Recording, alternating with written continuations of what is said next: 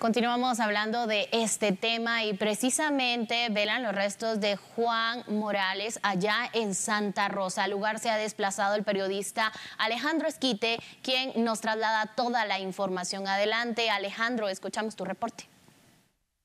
Efectivamente, llegamos hasta la vivienda de don Juan Morales, este hombre que de manera heroica defendió a una mujer y a una niña que estaban siendo golpeados por un hombre en la vía pública. Vea usted la manera en la que se desarrolla este velatorio con eh, las distintas imágenes como la Virgen de Guadalupe y un crucifijo en donde pues vemos la fotografía de don Juan que eh, pues se desarrolla este velatorio en eh, la comunidad en donde él residía. Nosotros llegamos hasta este punto aproximadamente a cerca de 90 kilómetros de la ciudad, pero me encuentro precisamente con quien fuera su esposa. Doña Tere, bienvenida a nuestros micrófonos. Si usted nos pudiera comentar, eh, eh, tratar de recrear qué pasó, porque usted misma le decía en el video, se puede escuchar que se viralizó, que él se regresara, que no, que no fuera a, esa pelea con esta persona.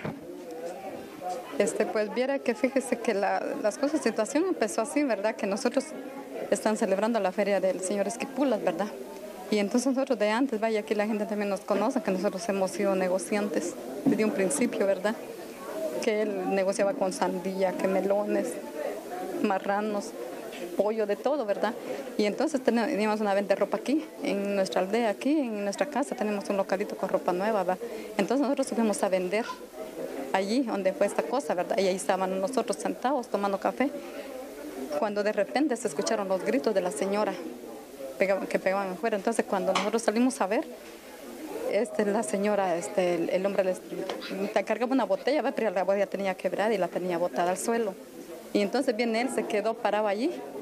Y miren, nadie, nadie intervino por defender a la señora. Y entonces donde él, donde él, mire, pues él, él vio la situación de que estaba golpeando a la niña, el hijo de él se enfureció y caminó él y yo me fui detrás de él, deteniéndolo para que no se metiera. Pero viene él, ¿verdad? Que donde vio que el hombre hizo eso, ¿verdad? Que él, él, lo agredió también a él, pero no dándonos cuenta, va que él sacó de rapidito el arma y, la forcejeó, no sé cómo se dice, Y entonces yo me quedé, me quedé parada, ¿verdad? Mirando a ver qué, pero viera que él se quedó así, como, como pensando, va, para podérsela quitar al hombre. Pero ya las muchachas, las señoras ya, ya habían huido de él, porque él fue el que los fue a defender allí. Pero miren, un abrir y cerrar el hombre le disparó a él. Y es donde él cae al suelo. Y entonces así fue donde él cayó al suelo, pero, pero él como que logró quitarle la pistola también todavía, porque la pistola viró para allá.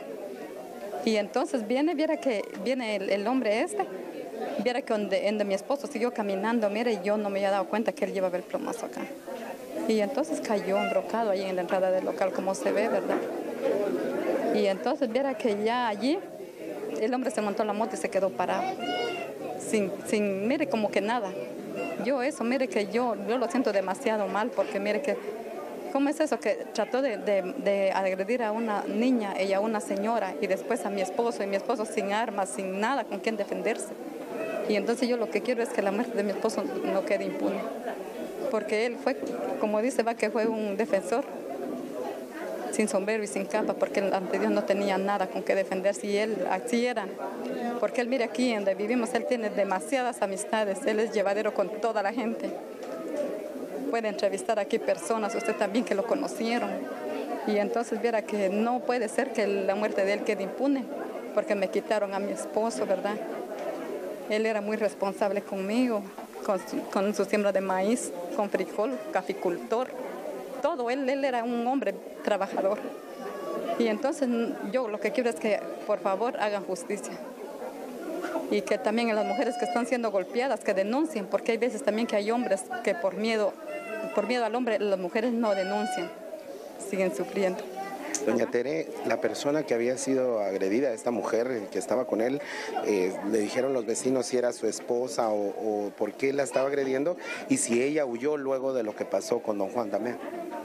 Pues fíjese que allí ya en el momento nosotros no, nosotros no nos dimos cuenta si era su esposa, que él se tiró a defender a la señora, no importando si era su esposa o si era su niña. Él lo que hizo fue defender a la niña y a la señora.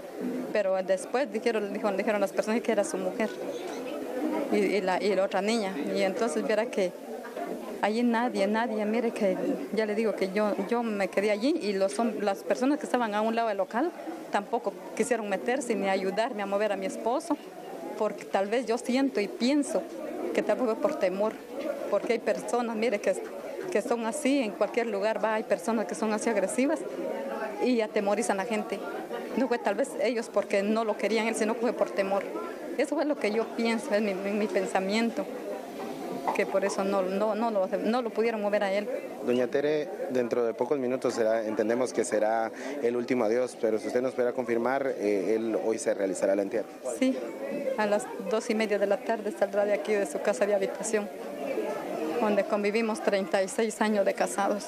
¿Cuántos hijos tienen? Tenemos tres varones y tres muchachos. ¿Varios nietos? Sí, tenemos cuatro nietos. Gracias por esta entrevista.